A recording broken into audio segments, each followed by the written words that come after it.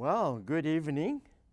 Good to see you all. I'm glad you're here and that you are joining us for another presentation.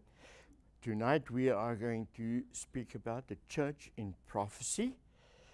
Tomorrow morning, oh, I love what I'm going to do tomorrow morning.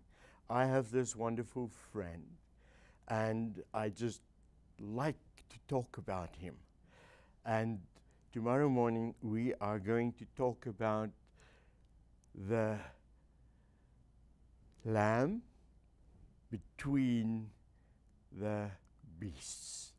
Now, Revelation has so many pictures of beasts and dragons and real stuff that, that, that frightens us, or could.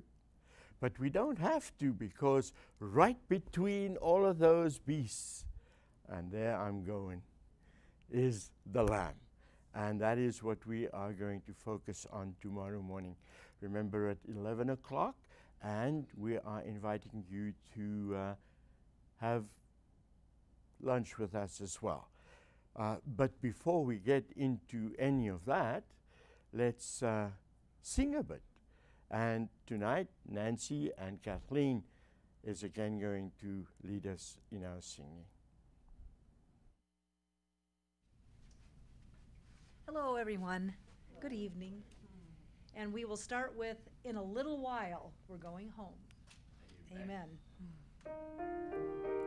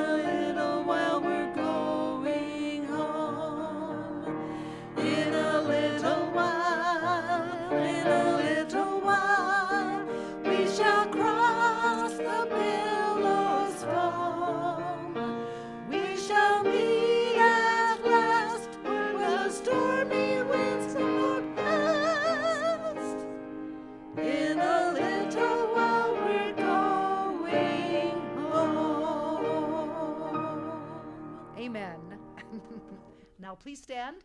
We'll sing our theme song and sing it out so they can hear it outside. Victory in Jesus.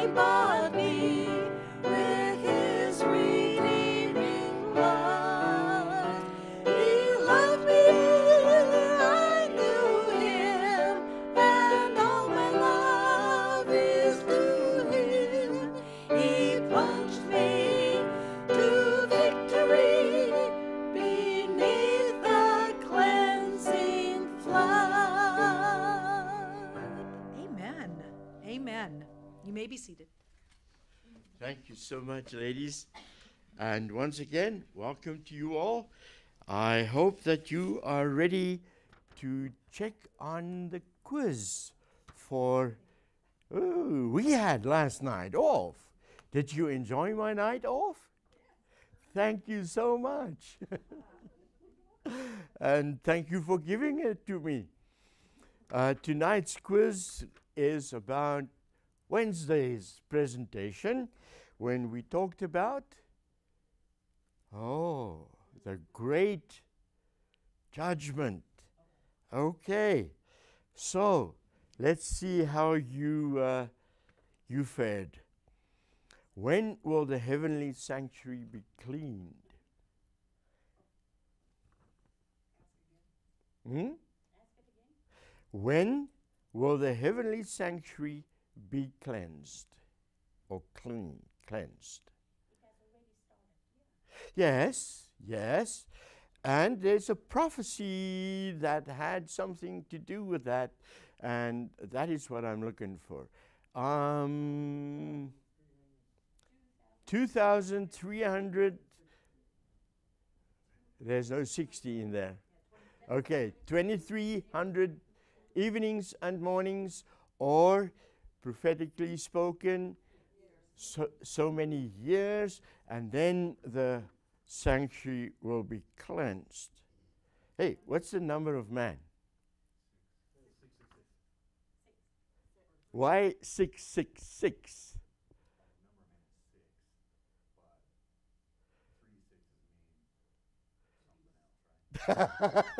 yes more or less. Okay uh,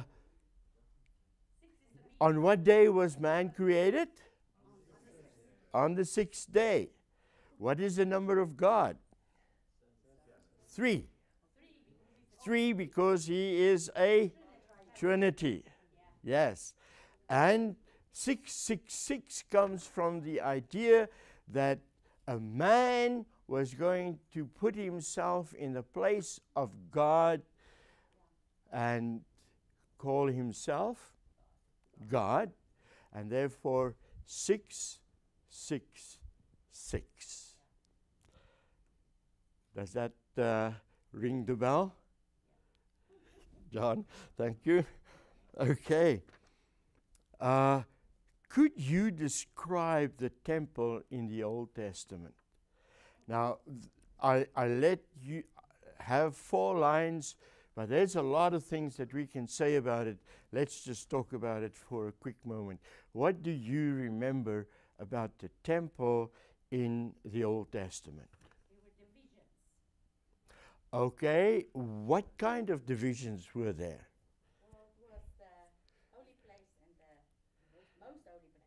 Okay, that was in the sanctuary tent a holy and a most holy place.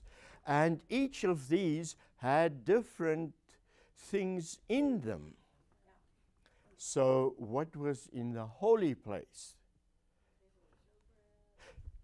And that's why I was uh, signaling the bread. They were shewbread and there were candlesticks and there was an altar of incense. Yes. Uh, then there was a curtain that separated the holy and the most holy. What was in the most holy? The Ark of the Covenant. How did that thing look like? There were two angels on it. There was a, a spot in the middle that was called the mercy seat. And in between the two angels also was uh, a light that was God's glory or called the Shekinah glory. Uh, but that was inside. There was also something outside. Now, we didn't spend too much time on the outside, but what was on the outside?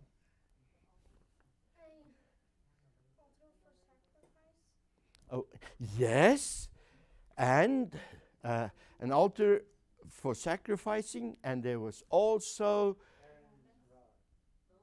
uh, that was inside the most holy, but we on on the outside of the the uh, the the laver, yes, uh, which had water in, so that you could wash, the priest could wash, and then of course there was the uh, the outer court. Uh, the the uh, what do you call it? The courtyard.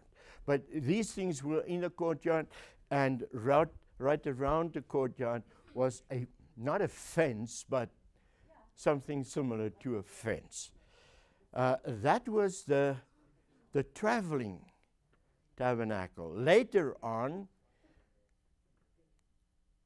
there was one built by Solomon. Uh, looked a little different because it was a uh, permanent structure. Eventually, and we didn't say much about that, but eventually that got uh, broken down in the year 70 AD. And not a stone was left according to Jesus' prophecy uh, upon each other because it was all coated in gold and the people were going for the gold. And they looked for all the gold.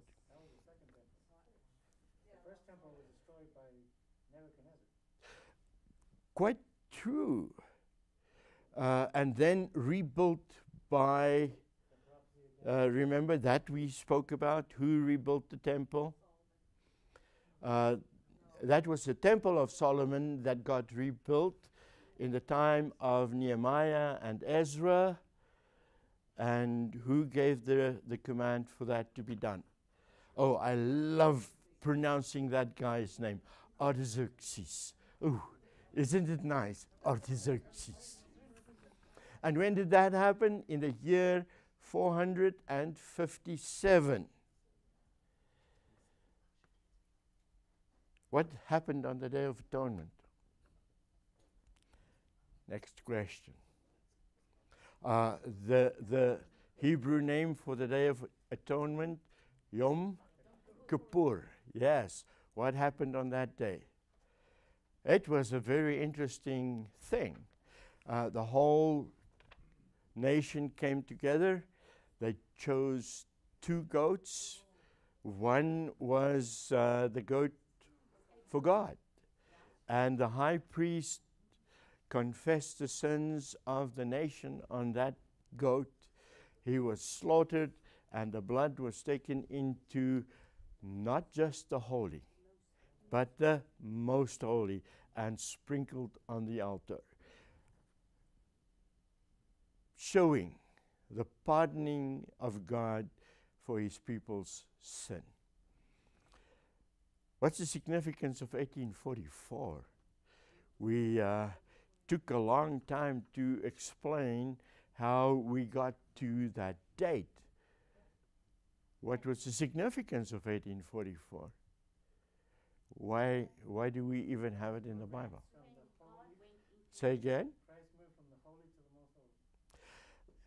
The heavenly sanctuary was being cleaned since 1844. And that is where we get the idea from that the judgment has started because this is taking care of the sin of the world by whose blood? Jesus himself took his blood into the most holy and uh, of, of heaven and is doing penance on our behalf. Uh, well, hope you did okay on, on that quiz.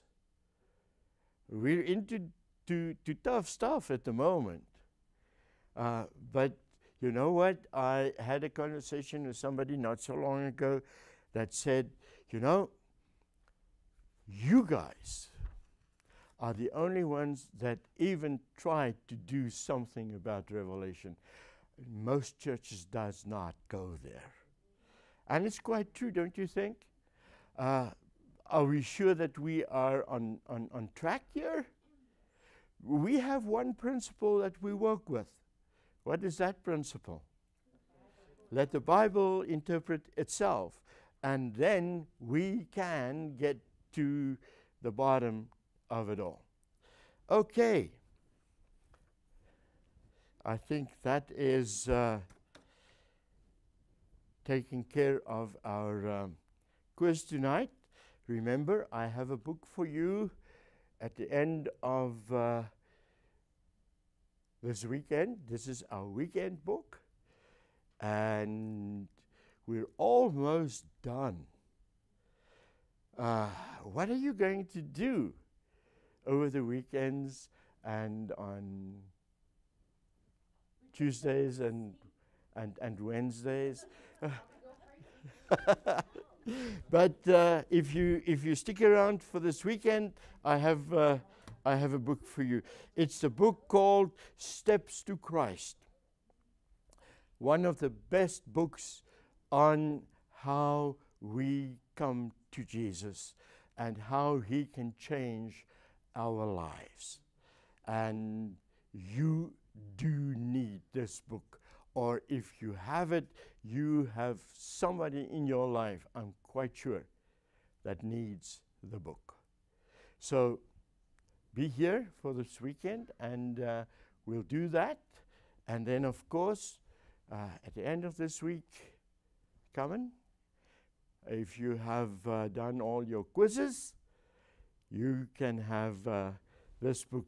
And I just, I just had a conversation with a very young man that said, I am almost there. I almost have all the quizzes done. And uh, I'm looking forward to, to seeing that. Let's have a word of prayer and let's get right in. Thank you, Jesus, once again for your lovely word and that it speaks to us in every need that we might have. And here we are waiting patiently for you to once again fill us with your word, fill us with your hope. And as we do this together, I pray that your spirit will be in our midst, for we ask it in Jesus' name. Amen.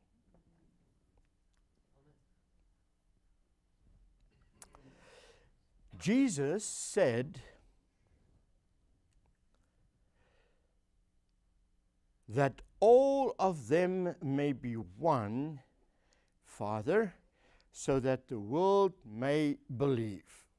This is Jesus in his high, high priestly prayer just before he ascended into heaven. Well, just before he uh, was crucified, before his ascension into heaven after his resurrection. But unfortunately, there are thousands of churches today. And each of them are teaching something different from the other. Was Jesus' prayer answered? Will it be answered? Why are there so many churches? Are they all right? Does God have a true church in the world today? And what is the church? Is it necessary to join a church so that one may be saved?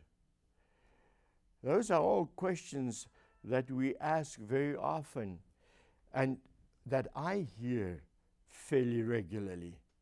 So let's begin answering some of them tonight. Why are there so many churches? When Jesus was here in his earthly ministry, there was only one church. And Jesus and those who followed him made up that church. For many years, there was essentially just one organized church in the world. The first headquarters of that church was in Jerusalem. But later it would be moved from Jerusalem to Rome, the capital of the then known world. And we have sadly seen that many false te- teachings and traditions crept into the church that was relocated in Rome, supposedly being a follow up of the Church of Jesus Christ. Martin Luther was a Roman Catholic priest, and he discovered something very great in a Bible that was chained to a wall in the monastery that he lived and worked in. He discovered, paging through that Bible, that man is not saved by works, but that man, we are saved by grace. And it is true when we accept it through faith.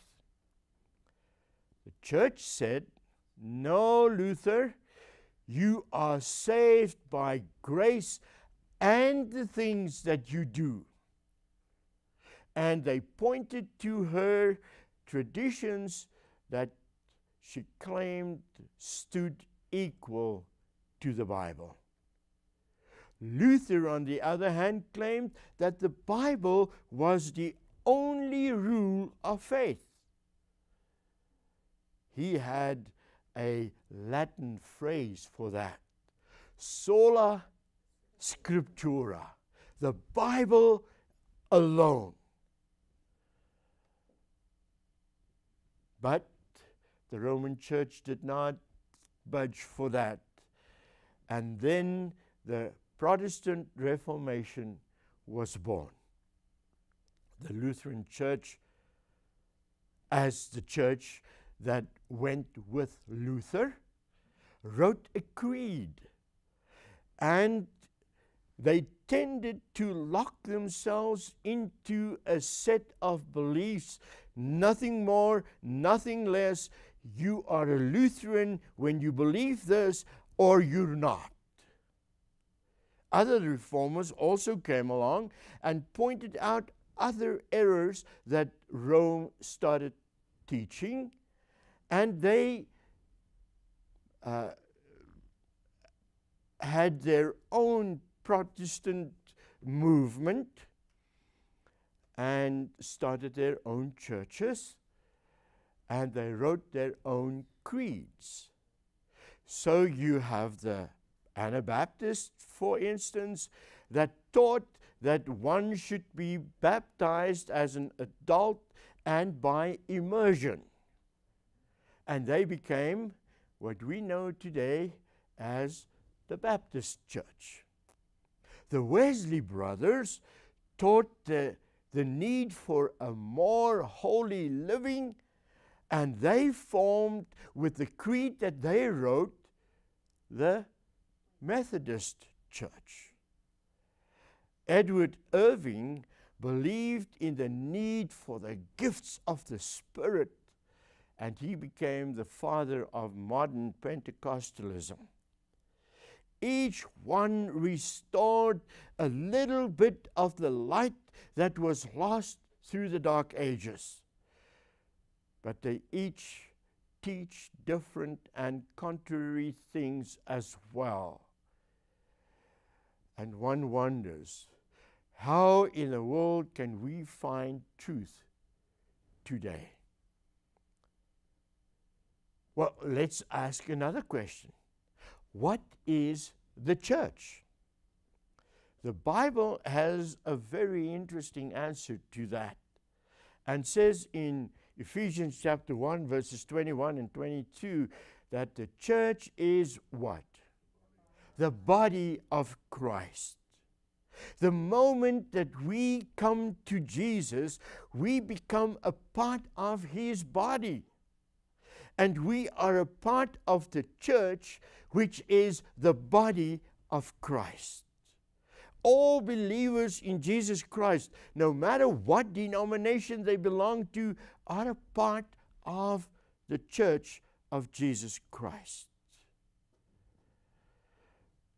But they are not everyone doing exactly what God wants them to do. So maybe we should call that the invisible church of Christ.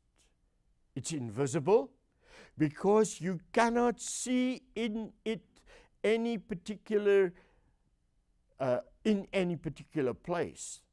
It consists of all believers worldwide. But the next question comes and says, can this invisible church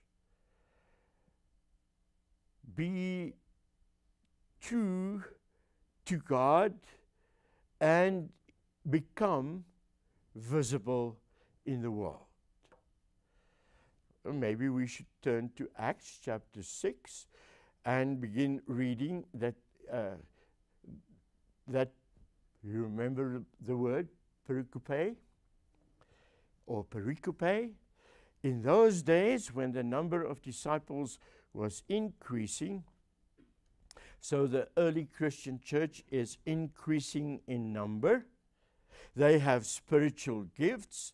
They are baptized by the Holy Spirit. They preach the gospel to the world. And the church in that day was growing at an incredible rate. During that time, there was rapid growth and they began to have some problems. Growing pains. And we read on, and it says the Hellenistic Jews among them complained against the Hebraic Jews because their widows were being overlooked in the daily distribution of food. The leaders decided it would not be right for us to neglect the ministry of the Word of God in order to wait on tables. They found themselves so involved in taking care of the administrative duties that when uh, that they weren't able to actually go and preach the word of God. And they said no something is wrong here. This isn't the way it should be. So the 12 gathered all the disciples together and said, It would not be right for us to neglect the ministry of the word in order to wait on tables. So, what do they do in this young, fledgling, fast growing church? they began to organize the church. They assigned the administrative responsibilities to seven men, which they called, can you remember? Deacons, yes. As a result, the church began to form into an organized structure. The body of Christ was beginning to get organized, and therefore it became more visible.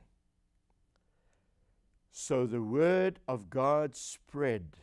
The number of disciples in Jerusalem increased rapidly. The church was becoming organized so that it would be better able to accomplish its mission of preaching the gospel in the world. In Acts chapter 15, we find another problem arising in the church. Some people began to teach doctrines that were different from the doctrines that the apostles taught. And the leaders again called a meeting, still in Jerusalem, with representatives from the whole church. And they decided exactly which doctrines should be taught.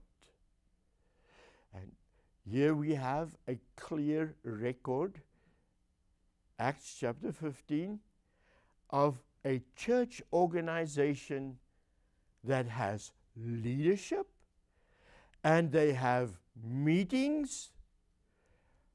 Those of you that belong to my church board meeting and you don't like attending a church board meeting, they had that. Even in the fledgling Christian church. And they made decisions. And afterwards, they sent letters from the church headquarters to those all over the world who were a part of the church. Acts chapter 15, 22, and 23 tells us about that. Can you see the church becoming a little bit more and more organized? It is evident there were some who disagreed with the decisions, however, but the leadership expected them to go along with it because they came together, prayed, and was depending on the Holy Spirit to lead them. And if you wanted to be a part of the church, that's what you did. This is a clear piece of evidence that God does have a specific, visible church in the world. Because the invisible group is getting more visible by its organizational structure. In Matthew chapter 18, Jesus gave instructions to the church for dealing with disciplinary problems when one openly rebelled against God and the church. He said that they should carefully work with those individuals, but if they fail to respond, they should be put out of the congregation. As Jesus gave the local visible church authority to decide about who is and is not to be included in its membership. In 1 Timothy chapter 3, Paul gives instructions to those who are to be elders and deacons or leaders in the local church. There's a lot of description going on here. And these officers are given further evidence, or is giving further evidence of an organized church. You can read about that in First uh, Timothy chapter 3 verses 1 through 13. We're not going to do that here tonight. But verse 5 says, if anyone does not know how to manage his own family, how can he take care of God's church? Which shows us, which shows us that there are positions of responsibility in the organized church. Furthermore, Paul even wrote instructions, a kind of a, a manual to tell people how to manage themselves and how to be a part of church management. In 1 Timothy chapter 3, 14 and 15, we read, Although I hope to come to you soon, I am writing you these instructions so that if I am delayed, you will know how people ought to conduct themselves in God's household, which is the church of the living God, the pillar and foundation of the truth. This means that God's church cannot be any church. But it needs to be a church built on the principles of truth as it is found in God's Word. Which brings us to another question Can any denomination be the visible body of Christ in the world? I think we find a thrilling answer to that in Revelation chapter 12, where a prophecy is given portraying a cosmic conflict between Satan and God's church. The woman is the symbol of the church. The dragon, of course, is Satan. And it attempts to destroy Christ, the child of the woman, just as he is born, says verse 3, uh, verse 4 f- to us. The attempt to destroy Christ, praise the Lord, failed even though he appeared to have gained his goal at the cross. However, Jesus is raised up three days later and was caught up to God and to his throne. Verse 5. With Christ out of reach, the dragon now launches a vicious attack on the church and it was to last a period of 1260 years. And we have identified this time period as the dark ages of papal persecution that extended from the year 538 AD up to 1798. Then from his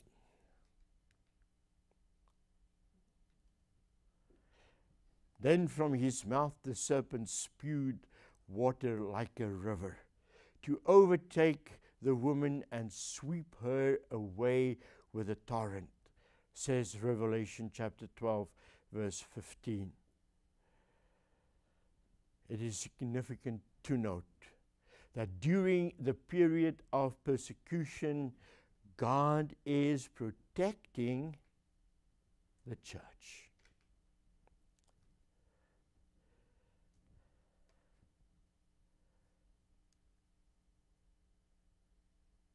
Ah.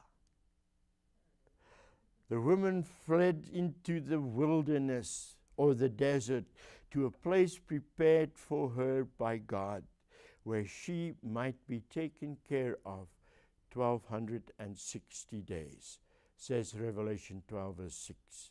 At the end of this time, God does something that is significant to our present study. Remember again, the earth helped the woman by opening its mouth and swallowing the river that the dragon has spewed out of his mouth. Watch this picture unfold.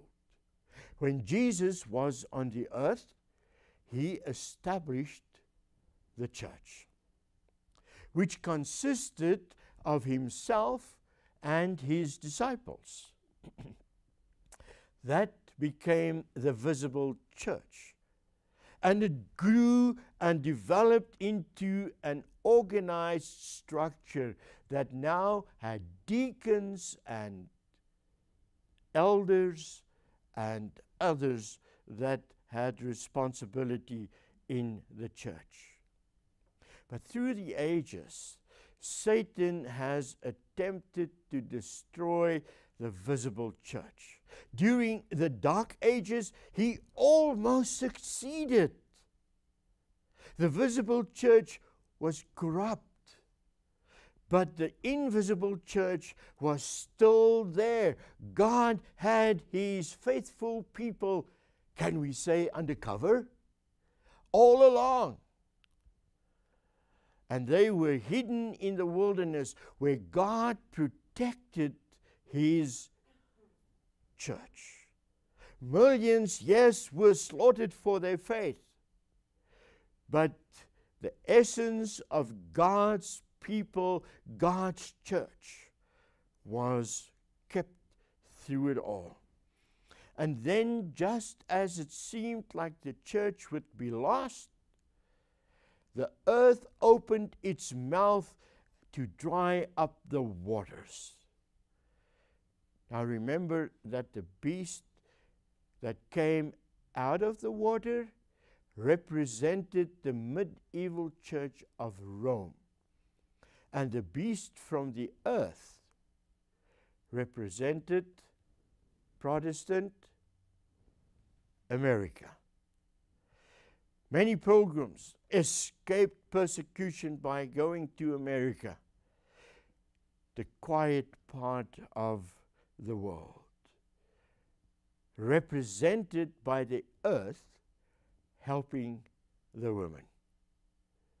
This is the first indication of the United States in prophecy, which appears just before the beast rece- received its deadly wound in 1798. God's visible church would be persecuted. Then it would be hidden in the wilderness for a time, becoming invisible again.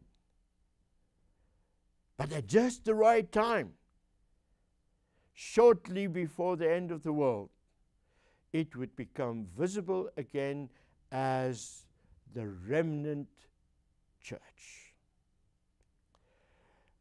And the dragon was wroth with the woman and went to make war with the remnant of her seed, which keep the commandments of God and have the testimony of Jesus Christ. The word remnant means what? Have you ever had your wife sent you to a uh, fabric store where she bought some material but found that she didn't buy enough? And you had to go and find with a little piece of what she sent you with some more and they didn't have it anymore. And they looked high and low until the lady says, Well, let's go see if there is any left in the remnant section. That is what it is. It is left from the rest. It is the remnant, the last of the last that they might have available so that I can go home with a smile. The word remnant means the last part. What is left over after everything has been used up. This is to be the last manifestation of God's visible church on earth. The dragon would be angry with the church and make war against her because he knows that his time is short. Which church is the remnant mentioned in prophecy then? That is the one that we should find if we want to know that we are in God's remnant last day church. God knew that there would be many churches established at the very time that this prophecy would run out. So he gave us two very specific marks, two very specific identifying uh, marks, so that we could recognize the remnant church. First, Revelation chapter 12, verse 17.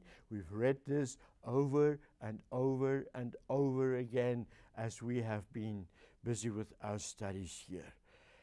First of all, this remnant group would do one thing they would keep the commandments of God.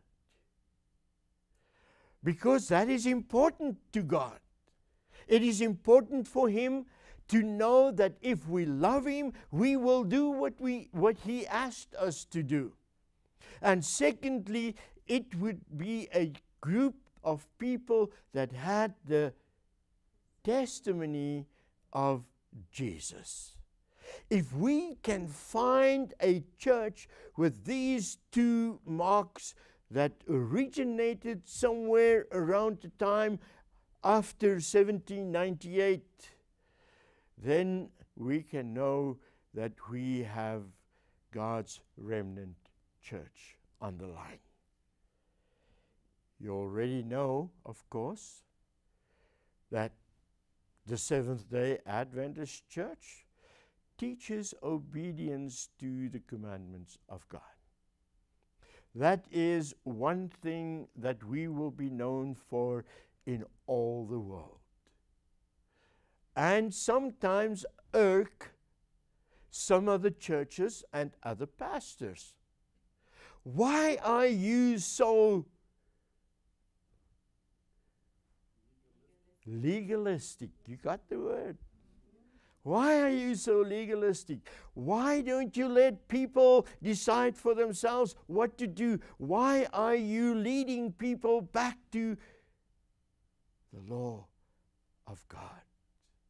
Because that is what God expects from His church to bring people into a right relationship with Jesus Christ, who gave his life so that we could be saved.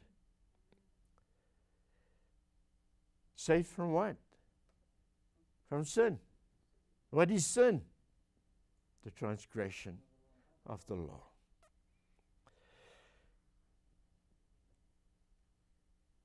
So, the Adventist Church teach obedience to the commandments of God. Not in order to earn salvation, because God has already done that. But because He has done that, because He saved us, and because out of our love and loyalty to Him, we yield our lives in obedience to all of His commandments including the one that most of the world want nothing to do with the seventh day Sabbath. Any church that does not teach obedience to all of God's commandments, including the command to keep the Sabbath day holy, is not God's remnant church. It cannot be a part of this remnant mentioned to us in Revelation chapter 12, verse 17. What is the second identifying mark again? They have the testimony of Jesus. John comes and tells us himself what that means in Revelation chapter 19, verse 10. Allowing Scripture again to interpret itself. John, what is it when you talk about the testimony of Jesus? John had just seen a vision. And he is so impressed by it that he comes and he says, At this I fell at, my, at his feet to worship him, but he said to me, Do not do it. Okay, this is an angel, Gabriel, uh, earlier on identified in Revelation, that. Uh, brings John a description of what is coming. And John falls down on his knees to worship the angel. And the angel says to him, Do not do it. I am a fellow servant with you and with your brothers who hold to the testimony of Jesus. Worship God, for the testimony of Jesus is the spirit of prophecy. The spirit of prophecy. Yes, that is the manifestation of God's gift of prophecy in the church.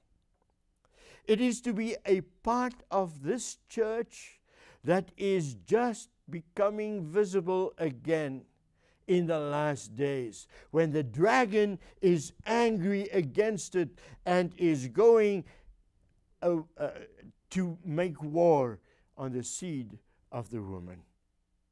The remnant people of God would be teaching obedience to his commandments, and they would have the gift of prophecy manifested among them. We shouldn't be surprised to find the gift of prophecy in the last days. Acts chapter 2, 17 and 18 says, In the last days, and it is quoting an Old Testament prophecy, in the last days, God says, I will pour out my spirit on all people. Your sons and daughters will prophesy, your young men will see visions, your old men will dream dreams. I'm there. Even on my servants, both men and women, I will pour out my spirit in those days, and they will prophesy. It is a phenomena that is going to be a part of the remnant church, the last church that Jesus has in this world to spread the everlasting gospel to every person all over the world.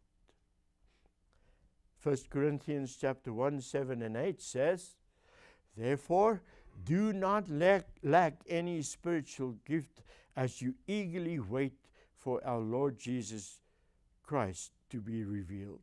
He will keep you strong to the end so that you will be blameless on the day of our Lord Jesus Christ. do not lack any spiritual gifts. Here we see exactly the same thing that we read in Ephesians chapter 4. God gives the spirit of prophecy to the church, plus a lot of other gifts of the Spirit, until the last days.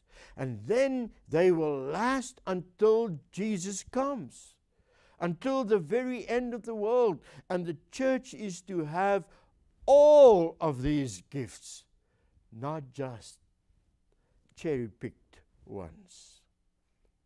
They will last until Jesus comes, until the very, very end of the world. There's overwhelming evidence that God will establish the gift of prophecy in the church in the last days. Jesus himself said in Matthew chapter 7, verse 15, that we should beware of false prophets in the last days. You don't counterfeit something that does not exist. Do you? When last have you seen a counterfeit $13 bill? Well, a counterfeit dollar, $13 bill, they ain't even a real $13 bill. So you can counterfeit something that does not exist. And neither is Satan going to waste time raising up false prophets if there isn't a true prophet. We must believe in God's true gift of prophecy for the last days, else we will lose the blessing God especially promised the remnant of His church. It's clear from the Bible that the gift of prophecy is to be present among God's people, God's true church, at the time of the end. The Seventh day Adventist Church believes that this was fulfilled in the life and works of a lady by the name of Ellen G. White. The writings of Ellen White are not another Bible. You might have heard that before, but it's true. Ellen White's writings are not another Bible. All truth must come from the Bible alone. Sola Scriptura. She herself says about the work that she does the testimonies of Sister White should not be carried to the front. God's word is the unerring standard. The testimonies are not to take the place of the word. Let all prove their positions from the scriptures and substantiate every point they claim as truth from the revealed word of God. Said in a book called Evangelism, page 257, which she wrote. Her writings are to be, she says, a lesser light to lead us to a greater light. God knew, oh, I think I have that for you too. Yes. Selected Messages, Book 3, page 30. God knew that in the last days when His remnant church was forming, they would need special guidance and encouragement to organize for action and to restore Bible truth. God knew that we would need the prophetic gift to sort through the maze of false prophets and their deceptive teachings. In 1 Thessalonians 5:20 we read, "Do not despise prophesying, but test everything, hold fast what is good." Did you get that? Don't just eat it for sweet cake. You need to make sure that what you've got is the real McCoy. Do not despise prophecy, though, is just as much a command as the one that says, test the spirits. He says, test the spirit of prophecy. If it is true, then you must hold fast because it comes from God. If it's not true, discard it, throw it away, cut it out. Test the Spirit. But how do you test the Spirit? How do you know that a prophet is truly from God? How do you know that Ellen White was a prophet from God? There are many churches today claiming to have prophets. And we know the Bible tells us there will be many false prophets in the last days. So, how can we tell which is true, which not? There's only one way. There is only one test. We've seen it and we've heard it before. Who can remember what Isaiah 8:20 says? Oh my goodness. Yes, you're right. You're right. To the law and to the testimony, if they speak not according to this word, it is because there's no light in them. So we need to test a prophet or a church to the words of God, the law of God, and to the testimony of His Bible writers. And if they don't speak according to those words, they are a people without light. A prophet must speak in accordance with the Word of God. If they are both inspired by the same Spirit, they must agree. If the Holy Spirit told one prophet one thing and he can uh, and he can never tell wait. If the holy spirit told one prophet one thing he cannot tell another something else. Because if he does not say the same thing to different prophets it would not be God's Spirit inspiring the prophets. I would love to challenge you to judge for yourself whether this lady is of God or not. The Bible says, test the spirit to see if it comes from God. Read some of her books, such as steps to Christ.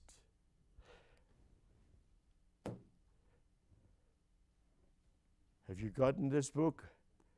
The Desire of Ages. It's one of her books. It's one of the best books out on the life of Jesus Christ and how we can be changed in a relationship with Him. The great controversy. You have some of these books already on your shelf. I hope they're on your bedstand and maybe that they make it into your reading program. Read them with the scriptures open next to them. Use them as a lesser light that leads you to the greater light. And you will discover not only that there are no contradictions, but also that God will enrich you and strengthen you and you will be a better person.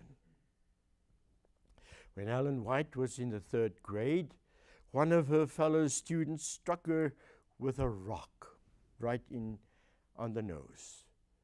She never quite recovered from that injury and was unable to continue her education.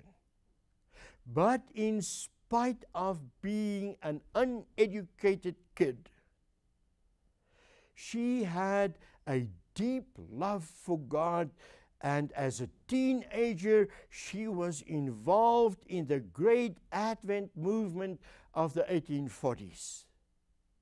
After the great disappointment of 1844, when people expected Jesus to come and he didn't, God called her to be his prophet. And even though she only had three grades of education, she wrote more pages of manuscript than any woman has ever written. What one, uh, what are some of the things that she said or predicted? Let me share just three things with you. Our time is just so limited.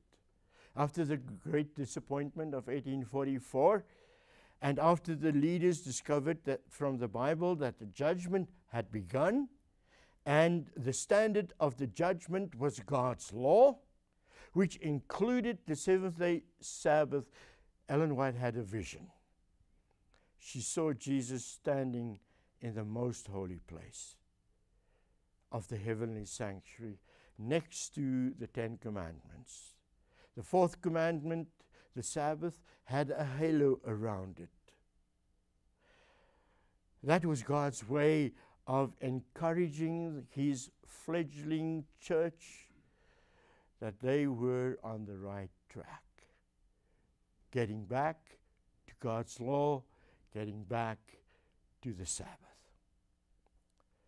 While it's true that they had been disappointed and that they were now ridiculed for taking an unpopular stand for the Sabbath, God used the spirit of prophecy to encourage this, uh, his believers to move forward.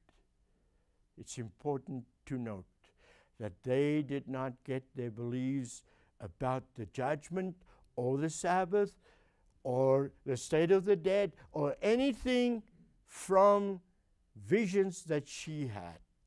They came after these people seeking the truth hammered the, their beliefs out from studying scripture.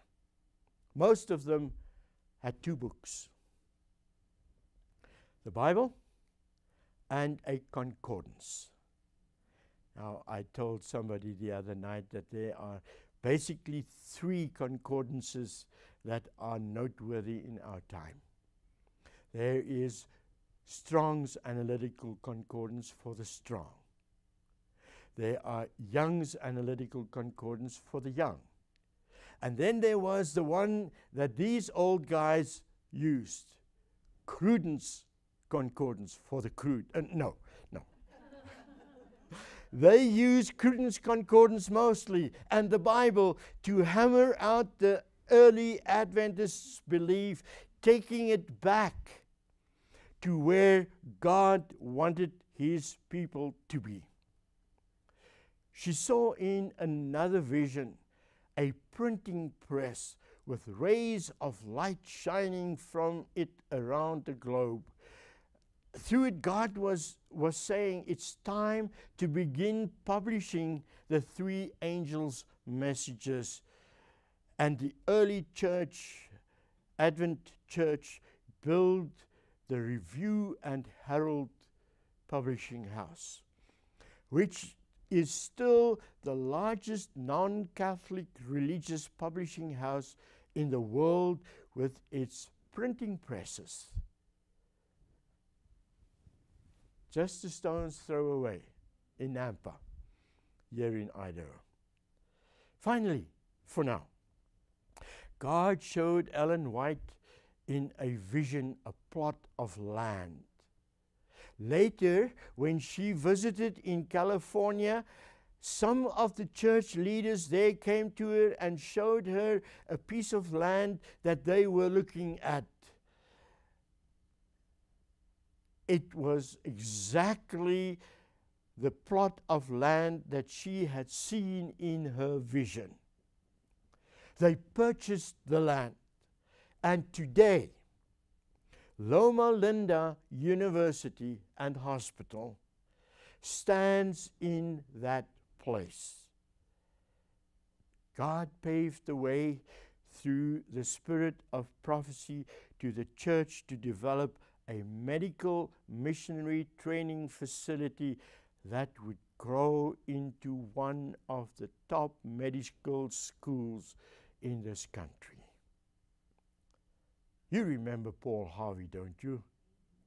Paul Harvey said in an article some, some years ago Have you wondered if health care is worth it? Consensus of most modern medical men is that you should exercise, keep your weight down, and avoid smoking cigarettes. An increasing number of physicians are recommending against alcohol, high cholesterol meats, and white flour bread. These recommendations are based on the medical knowledge, on the latest medical knowledge, though I can show you the same prescription for health in a book that is a hundred years old. Ellen White authored the book.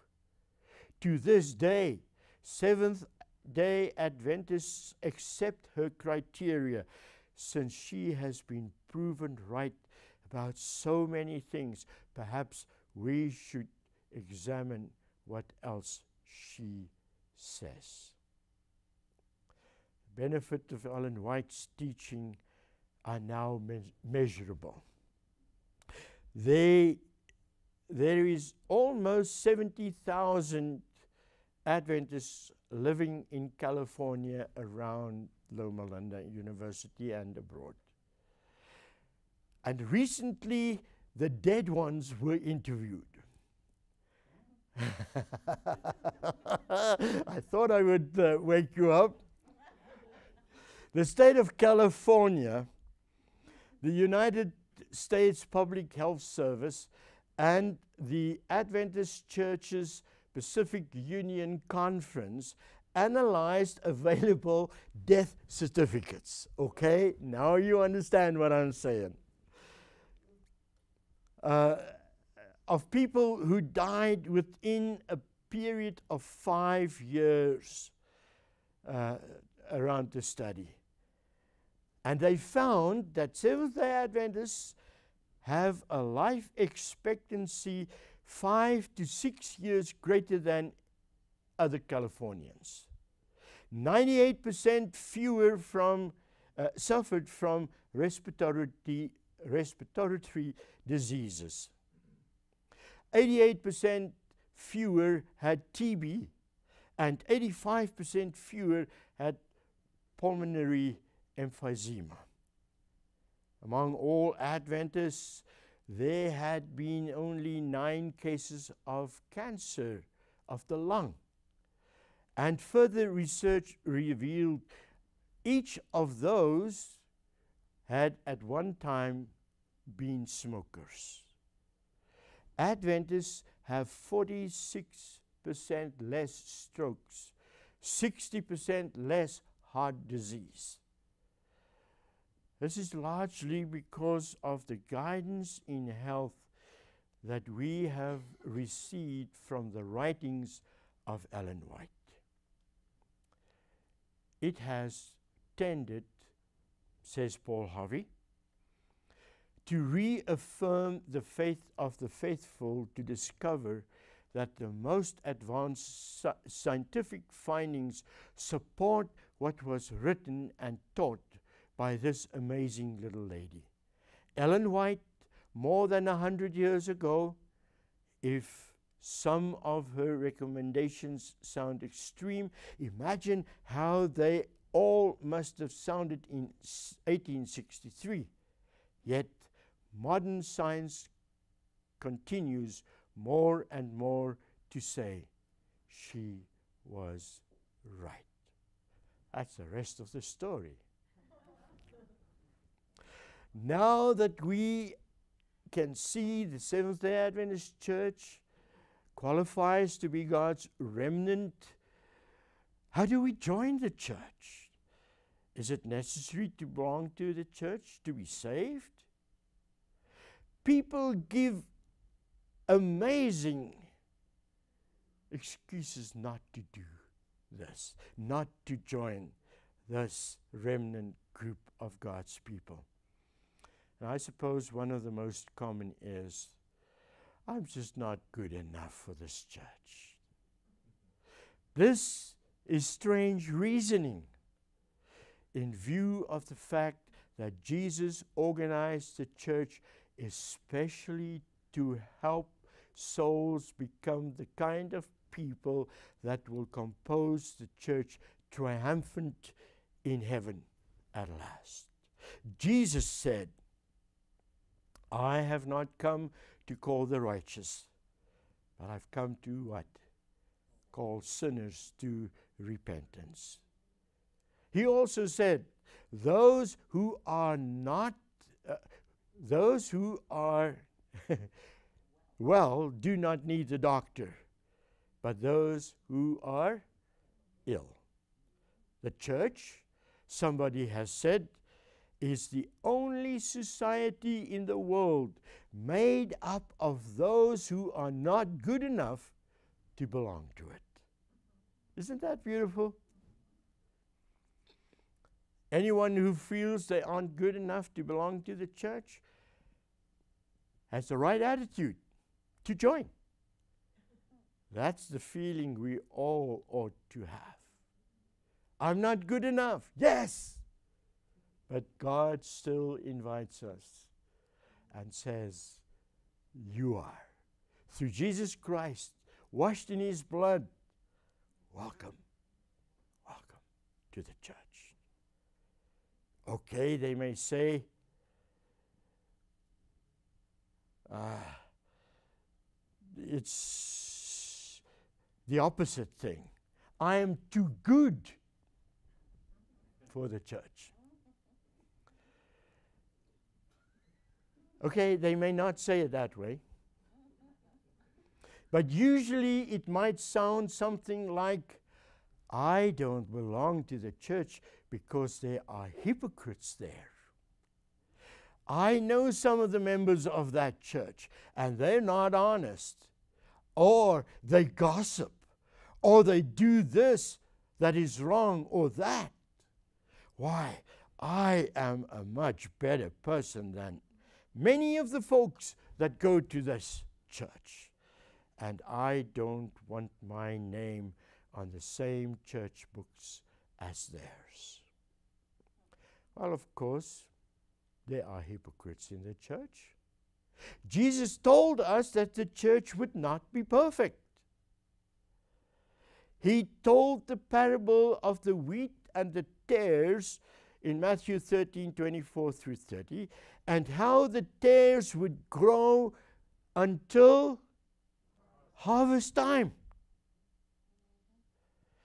And we shouldn't try to judge which is wheat and which, are, which is tares.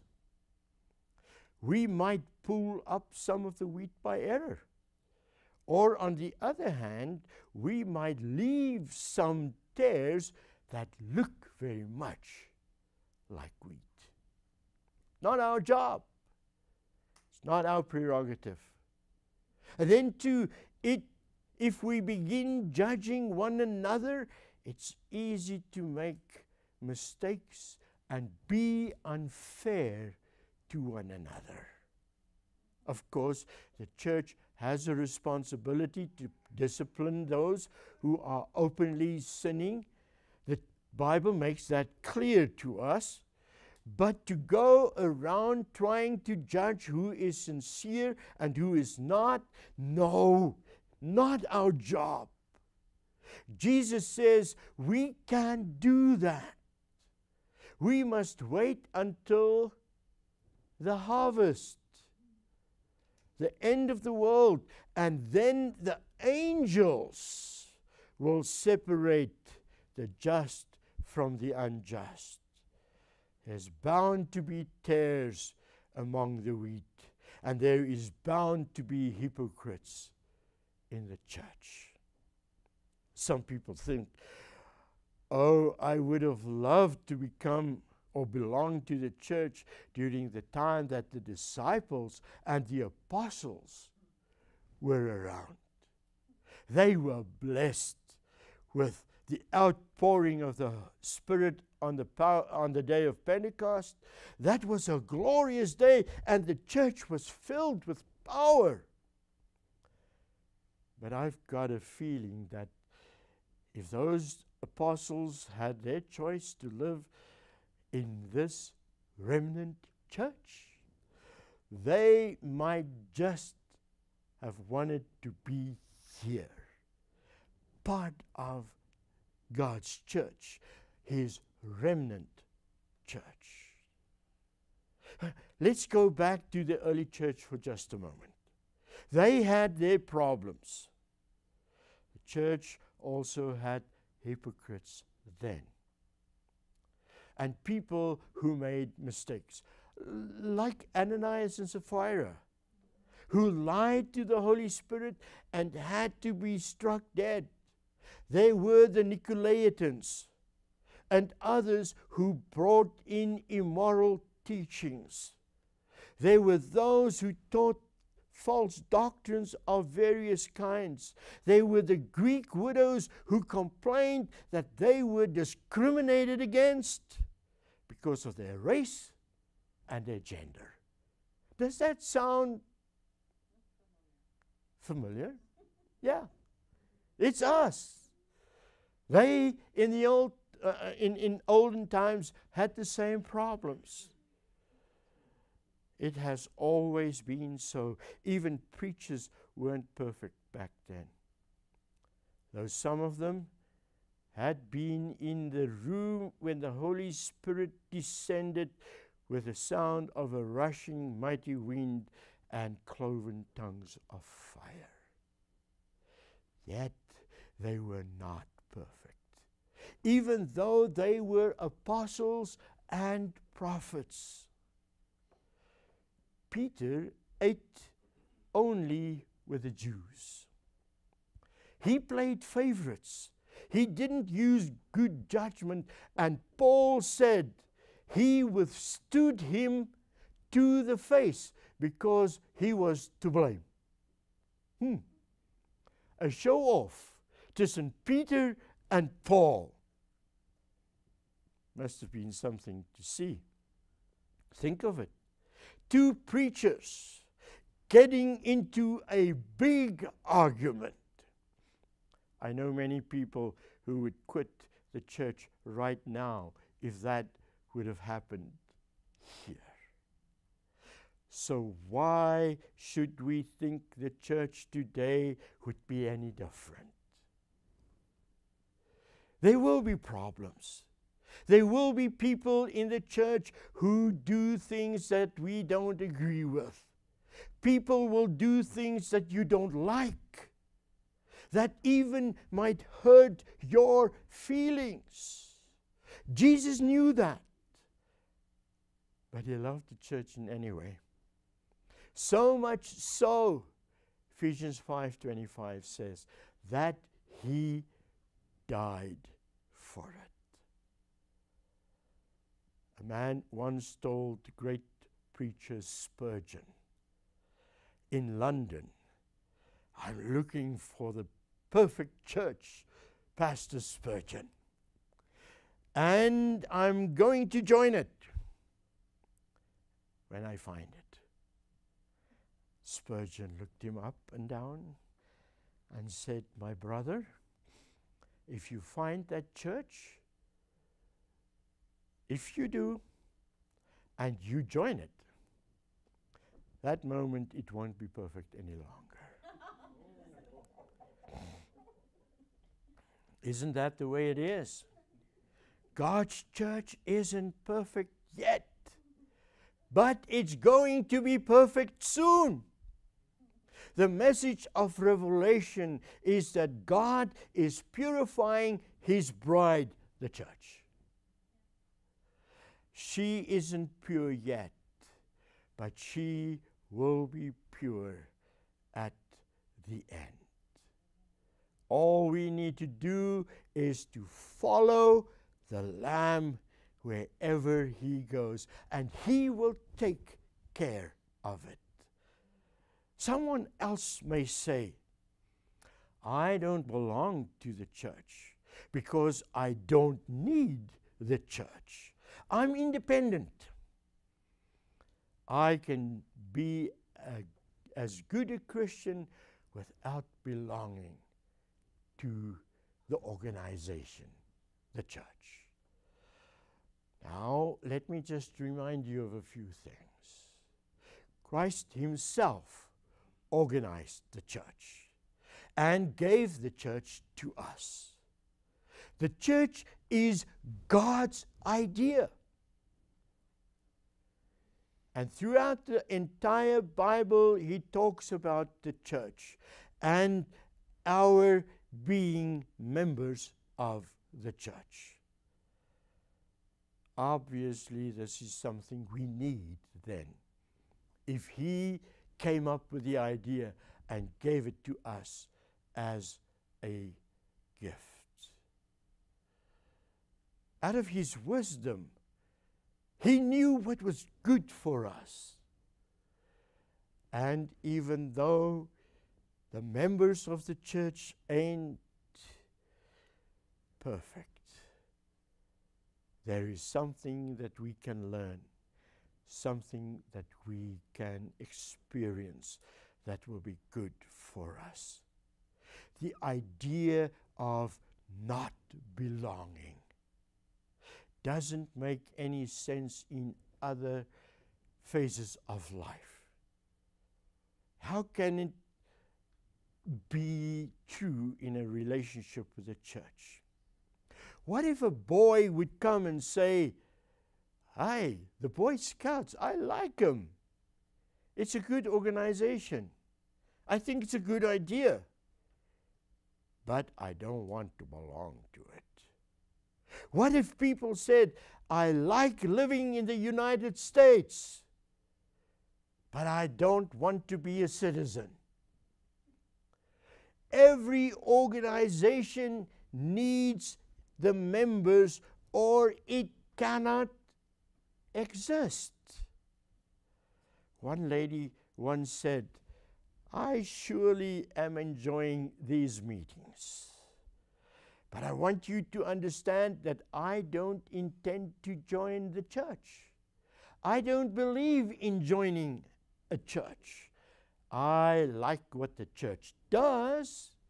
I like to take my children so that they can learn about God and learn what's right and, wrong, but I don't believe in belonging to the church.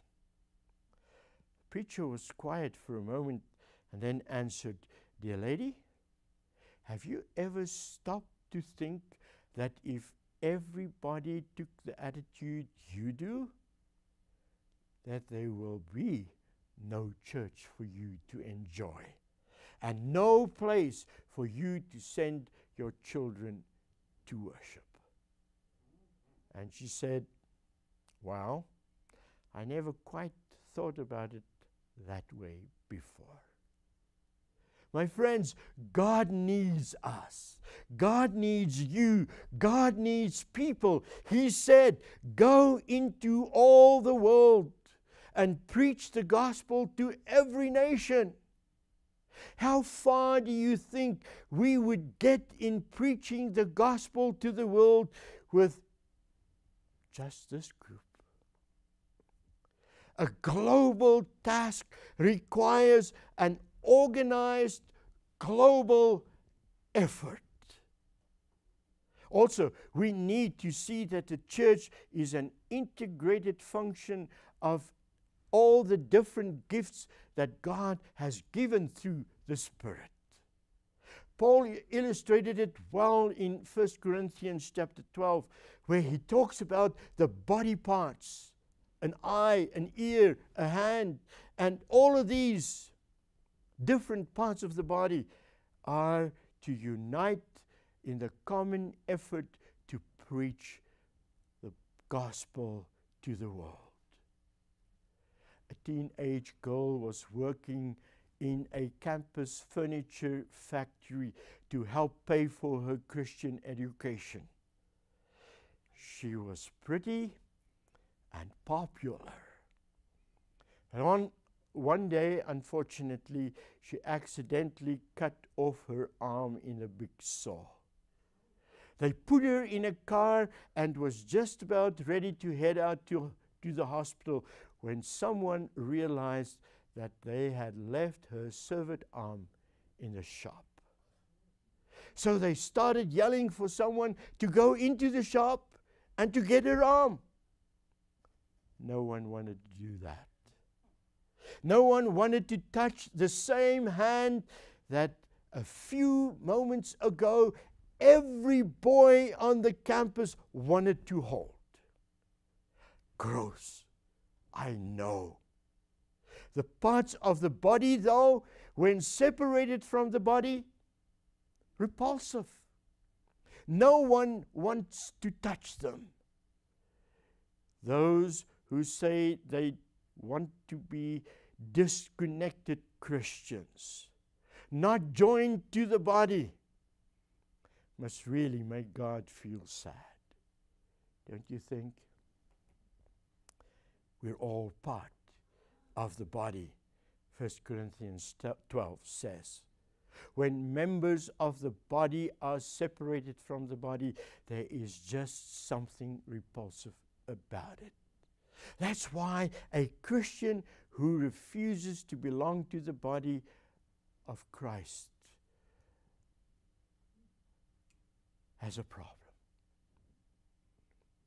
Paul writes in Hebrews 10:25, not neglecting to meet together as is the habit of some, but encourage one another, and all the more as you see the day drawing near. There's strength in unity. And unity only comes through the body of Jesus Christ. An old man worked all of his life saving every penny he could, living as a pauper basically in order to send his son to medical school. When he graduated, dad didn't even have enough money to go to graduation. But that didn't matter because his boy now was a doctor. When his son returned home to see his father, he said, Dad, there's something that you need to know. I won't be going to church with you anymore. Oh, the old man's heart was broken. But he was a wise man, and he knew it would not do any good to argue. All he did was to take his son's arm and led him to the fireplace. They sat down, and the old man took a shovel and fished out, or was it dig, dug out, a coal from the nice warm fire and put it on the side of the fire pit. And soon the glowing coal that came out of the fire grew cold and gray and ugly. And then he picked up the coal again and placed it back in the fire. And soon enough, it again was beautiful and warm and glowing. We need the church. Church needs us. I suppose the real reason for saying that we must join the church is that if we reject the church, we are actually rejecting Jesus. Because the church is his body. We all become a part of the body of Christ, working together to preach the gospel to the world so that more and more people will know that there is salvation in through Jesus Christ. And that soon enough the church will be God's triumphant church marching into the kingdom. How I long to be there with you on that day as the church goes marching in to heavenly Zion. My prayer for each one of you is that you will be a part of God's church triumphant. And together we'll see Him come in the air and say, I've waited so long, and now we can go home. Amen. Let's pray. Lord Jesus, your body, the church in this world, is calling each one of us to be a part of it, a living, vibrant part of it, so that we can serve the world so much better in unison, knowing that you have given your life for us. May each one of us in our minds make a firm decision to follow you and to be with you in this world, in your church, even though it might not be perfect. And then when perfection comes, as we see you coming on the clouds of heaven, may you find us ready and waiting because we have said, Yes, we want to be part of the family of Jesus. We want to be an integral part of the body of Jesus Christ. We pray it in His name.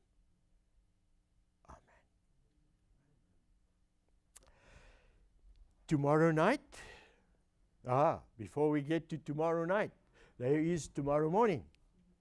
And remember what we're going to talk about tomorrow morning? The lamb between the beasts. I'm looking forward to sharing that with you. And then tomorrow night, we are talking about the fall of Babylon. What is meant by the image of Babylon? What does it mean that Babylon has fallen? What does it mean for us? So uh, be here tomorrow morning and then also tomorrow night. And on Sunday night, we are going to talk about one of Revelation's big subjects Armageddon and you. So that's lined up for the, the few nights and morning uh, uh, ahead of us. And remember, if you are here for the whole weekend, you can get one of these books, Steps to Christ, and you will thoroughly enjoy that. I would love for you to say something on your card about the church and how you see yourself within the church. If you want to join, if you have joined, uh, tell me something about what is going on in your heart. And we are going to ask that you now exchange your cards for the printed material. And remember to be ready tomorrow night with uh, your quiz, the church in prophecy, and I'll see you tomorrow night, uh, tomorrow morning, 11 o'clock. Once again, 11 o'clock, right here, same place, same time. No, same place, 11 o'clock. and you are invited to uh, share a lunch with us afterwards. Thank you so much. See you tomorrow morning and or tomorrow night. God bless you. Cookies and tea in the foyer. Thank you.